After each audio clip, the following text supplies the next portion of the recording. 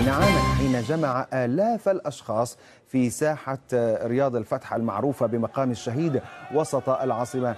الجزائرية.